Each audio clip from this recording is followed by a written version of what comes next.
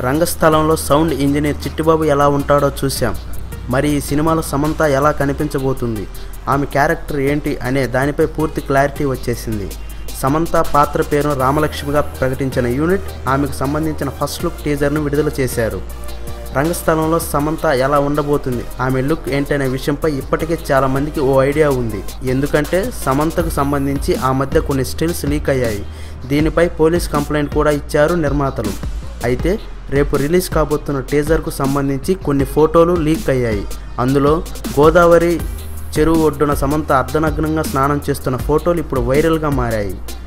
తాజాగా రిలీజ్ చేసిన టీజర్లో సమంత యాస భాష ఎలా ఉంటుందనేది చూపించారు. పక్కా పల్లెటూరు పిల్లదానిగా చెరువులో నీటిని వయ్యారంగా తీసుకెళ్ళే సమంత లుక్ అదిరిపోయేలా ఉంది.